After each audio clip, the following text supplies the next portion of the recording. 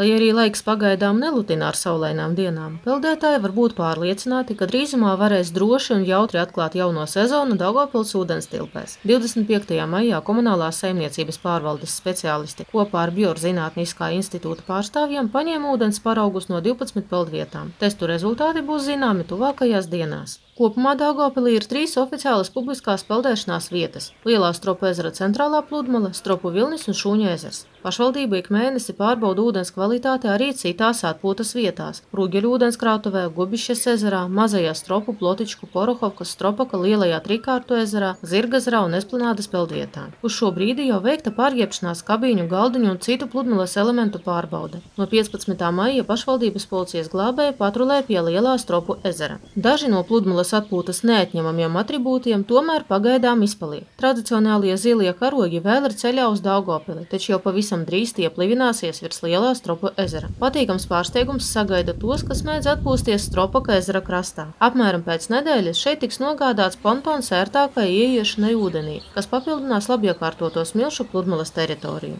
Vides speciālisti atgādina, ka ūdens un līdz ar to arī peldēšanās kvalitāte lielā mērā ir atkarīgs no pašu cilvēku darbībām. Īpaši tas attiecas uz pastaigām ar suņiem un jo vairāk uz to peldināšanu, kas Daugavpils publiskajās pludmalēs ir stingri aizliegta. Pēc Latvijas veselības inspekcijas datiem atklātā ūdens vidē Covid-19 vīrus neizplatās, tāpēc peldēties publiskajās atpūtas vietās var pilnīgi droši. Tomēr tas neizslēdz nepieciešamību saglabāt distanci pludmalē pie ģērbtuvēm, rotaļu laukumos un citās vietās. Sižetu sagatavoja Daugavpils pilsētas domes sabiedrisko attiecību un mārketinga nodeļa.